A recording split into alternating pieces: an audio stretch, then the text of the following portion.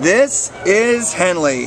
Henley's ID number is A524211. And Henley is our American America's Got Talent dog today.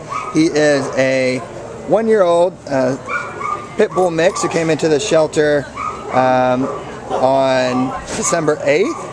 Um, as you can see, he's doing a little stand here. But uh, he also knows a variety of tricks. Um, he can sit on command.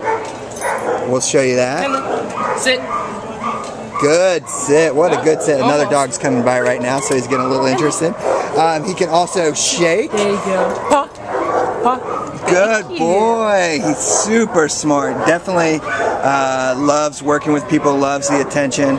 He's just a real, real, real cutie pie.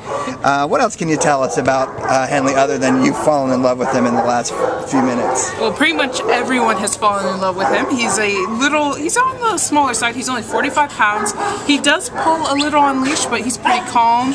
He's pretty, he just needs a slow introduction to new dogs, but after that, he, plays pretty well with them. He's just all around a really good dog, well-rounded dog. He's pretty quiet. He doesn't seem to cause too much, uh, too much commotion when he's out and about. Definitely medium, uh, medium energy level. He doesn't need to be taken out for strenuous walks or anything.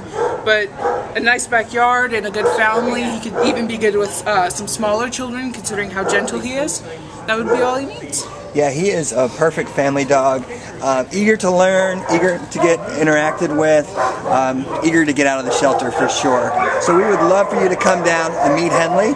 Um, he would be pleased to shake your hand and say hello. Uh, again, his ID number is 852-42011. And look at that face. Look, just look at his face. Oh, look at that nose. So cool. Good boy. Oh, what a good boy. Yes. Love him.